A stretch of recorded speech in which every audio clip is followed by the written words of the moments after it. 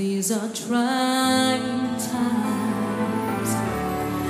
Filled with so much sorrow. I wonder if tomorrow